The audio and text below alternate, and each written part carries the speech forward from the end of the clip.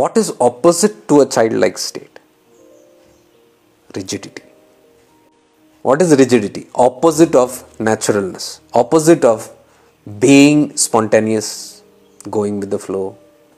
The whole pain in life comes only when we try to control others life or even our own life. Now we have known that you know if you try to control others it's a problem. That's a problem only anyways but the biggest problem is when you try to control your own life that is rigidity. So easy to tell all this you know being in the present moment going with the flow being natural sounds good but very difficult to do right? For that you have to understand rigidity. If you have clarity on rigidity all your life problems are solved. Rigid means kattarpan Zid, stubbornness, stubbornness on this is how I have known life to be. Who I? My limited mind. It has not yet explored the arenas. What we feel, we know everything. We believe we know everything. Now, who's this believer? This mind. This believer is that rigid one. Most of the time, we are not even consciously aware of it. The subconscious mind is being rigid there. So, it has a certain ideas, ideology from where it has taken all borrowed stuff little from there little from here. If you look at it in awareness you will see the mind is very busy in collecting bits and pieces from here and there. Now what is it collecting? It is if you observe carefully you'll see it is collecting only which i believe is good for me. Why can't we stick on to one particular platform? You observe this. Because one platform will always expose 100% of everything now we cannot adjust to all the 100% even one guru he talks about plenty of things but we cannot adjust to all the 100% 100% we might catch 60% of it. 40% undekha unsuna we don't want to listen to it we don't want to look into it. Why? Uncomfortable. We cannot adapt to it. Because it's something that is does not suit me. Why does it not suit me? Because it is not in alignment with what I believe. That is rigidity अध्यात्म क्या है? अध्यात्म चालाकी से ऊपर है। अध्यात्म is going beyond the fickle ego mind when can be go beyond the fickle ego mind only when we notice this when we do not notice this when we are not even aware and conscious of how our life is getting screwed up by our own mind and ego it's very difficult to do something about it इसलिए मैं बोलता हूँ, स्वीकृति जब तक नहीं आती भीतर से कि कुछ गड़बड़ है जीवन की शैली तो उसमें बदलने की चेष्टा क्यों करेगा भले इंसान? करेगा ही नहीं। क्योंकि एक ही दिशा में ज़िंदगी है, एक ही कोना हमको पता है ज़िंदगी का कि ऐसा है, ज़िंदगी है तो ऐसा है। अभी हमने एक्सप्लोर ही कहा किया है ज़िंदगी को? एक्सप्लोर करने के लिए करेज भी चाहिए। भीतर से इतना भय कुछ करने की चेष्टा नहीं है, कुछ एक्सप्लोर करने की इन्वेस्टिगेट करने की चेष्टा नहीं है। तो हम अंत में रह जाते हैं उन्हीं सब चीज़ों के साथ जिसको मैंने ज़िंदगी भर समेटा है, जो मुझे सुरक्षित रखता है। तो इनडायरेक्टली देखो तो असत्य में जीते हैं, अज्ञानता में जीते हैं। We live in lies exposing this is spirituality simple spirituality मैं आपको बता रहा हूँ। Exposing this with courage what happens when you expose? When you expose, you acknowledge. Oh there is a fault here. Only when you acknowledge, जब स्वीकृति हो, तब ही एक अंदर से, भीतर से एक स्ट्रॉन्ग फोर्स आता है आई मस्ट ओवरकम दिस ये स्ट्रॉन्ग फोर्स के लिए तरसते हैं लोग आपको पता है? ये स्ट्रॉन्ग फोर्स नहीं आता भीतर से। इतने लोगों को मैं मिलता हूँ। सबकी यही कंप्लेंट है। ये बात तो उनको पता ही नहीं है। अभी जो मैं बात कर रहा हूँ, ये तो बहुत सूक्ष्म, बहुत सबकॉन्शियस लेवल पे है। जब तक सजग नहीं है तो पता भी नहीं चलेगा। ऊपरी तर पे वो यही बात करते हैं कि वो अंदर से आ नहीं रही है। हमेशा मैं अपने आप को चेंज करने की कोशिश करता हूँ या कुछ बेहतर बनने की इवॉल्व करने की कोशिश करता हूँ, लेकिन कुछ तो कुछ हो जाता है और मैं वही कर बैठता हूँ जो मुझे नहीं करना चाहिए।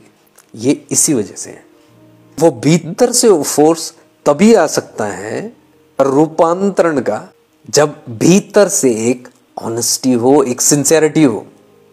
अब देखो, जैसे मैंने सिंसियरिटी बोला, कितने को अंदर से खटका, झटका अंदर से।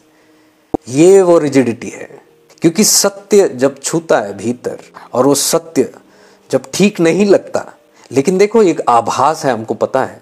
ऐसे शब्द कुछ भी यूज़ किया, अंदर से एकदम से अनकंफर्टेबल लगा होगा थोड़ा सा लेकिन फिर भी एक मन है, फिर भी सुनने की प्रयास कर रहा है। एक भाग ये है, ये मुझे स्वीकृति नहीं है इस चीज़ का। I am feeling uncomfortable this but one part still wants to listen to it why if it is really uncomfortable if we say that truth is uncomfortable then why are be longing for that truth क्योंकि कहीं ना कहीं आत्मा को ये पता है कि ये सत्य है।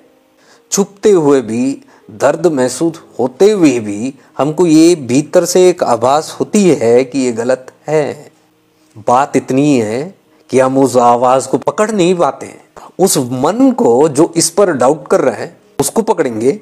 लेकिन इस भीतर से जो सूक्ष्म आवाज़ निकल रही है, जिसको हम कॉन्शियंस बोलते हैं, इसकी आवाज़ हम पकड़ नहीं सकते हैं।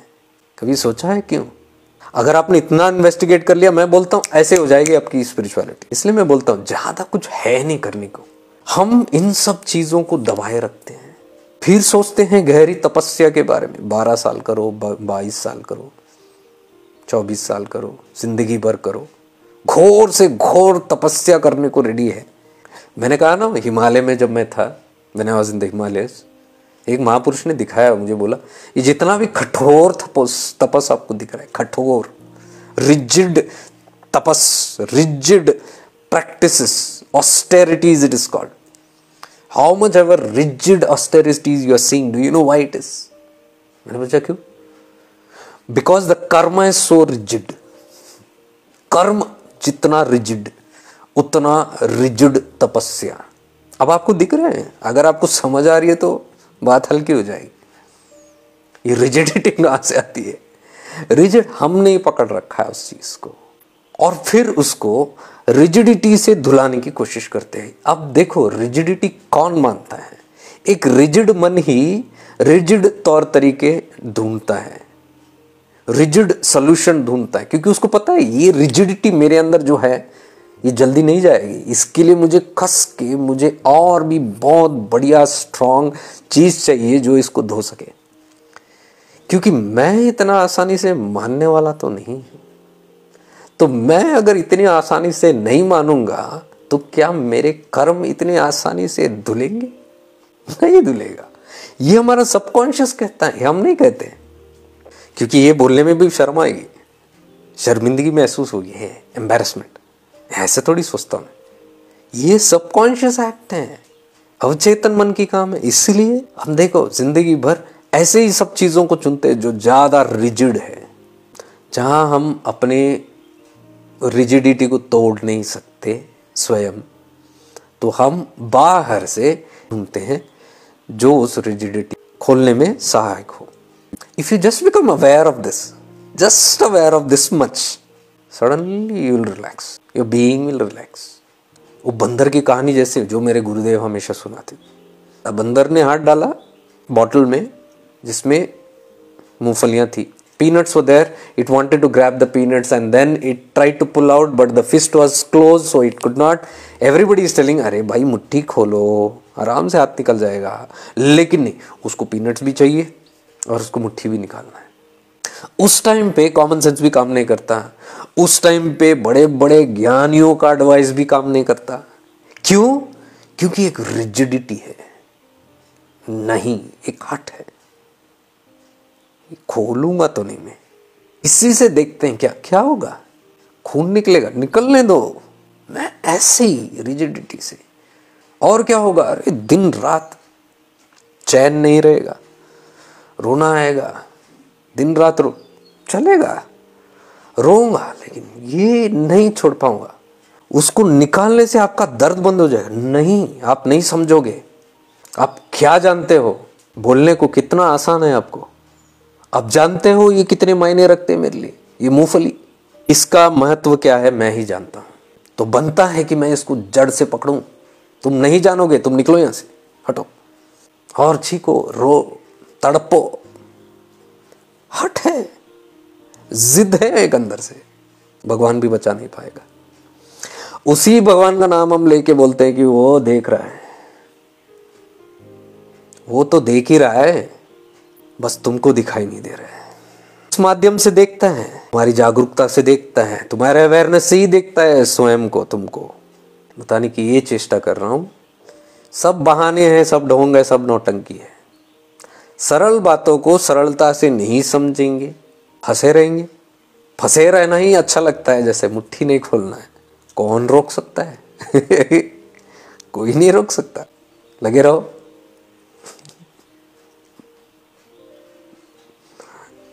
सुनने को अच्छा नहीं लगेगा, लेकिन सत्य है। क्योंकि इन सब चीज़ों से गुजरा हूँ, इसलिए बता रहा हूँ।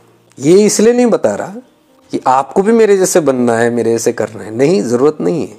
ये वो विभाग, वो साइड का ज्ञान है जो हम लेते नहीं है। ये वो अनकंफर्टेबल चीज़ें हैं जो हम छोड़ के कहीं और कंफर्टेबल चीज़ें ढूंढते हैं। लेना है तो पूर्ण ले लो। किसी भी महात्मा का, पूर्णता से आप ले लो, एक महात्मा का ही ले लो, सब आपको मिल जाएगा। तो बड़ी सिंपल सी चीज़ें हैं। इसलिए मैं बोल रहा हूँ, मेरा उद्देश्य लाइफ का यही है कि मैं इस चीज़ को बखान बार बार करूँ और हर तरीके से करूँ कि अध्यात्म बड़ा सरल है, क्योंकि जीवन ही सरल है।